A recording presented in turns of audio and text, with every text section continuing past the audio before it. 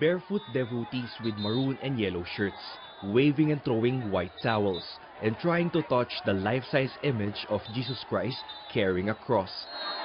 18 million of them, says the administration of Quiapo Church, will flood the streets of Manila for the Black Nazarene feast on Monday, January 9. And security is expected to be tighter than ever, given the possible record participation. Amid possible threats of terror attacks.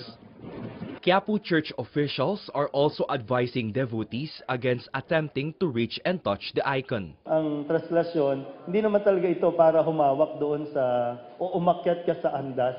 Ang objective ng isang deboto ay sumama sa prosesyon, sumama sa paghatid sa sa hari, sa pagbalik sa kanyang tahanan. This year's theme is based on a Bible verse in the book of Corinthians. Pag-ibig ang buklod ng ganap na pagkakaisa. This means love is absent without unity among the people. Love also represents God through the Black Nazarene image. Devotees are advised against tagging along their children or elderly and sick relatives. Maiipit po talaga yung kaawa-awang bata sa dami po ng tao. If this is unavoidable, children must wear an ID for easy identification if they get lost in the crowd. Officials are also planning to live stream the event on Facebook.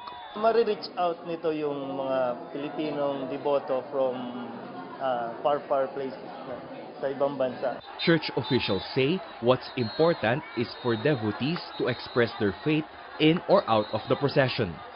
Rex Remitio, CNN Philippines.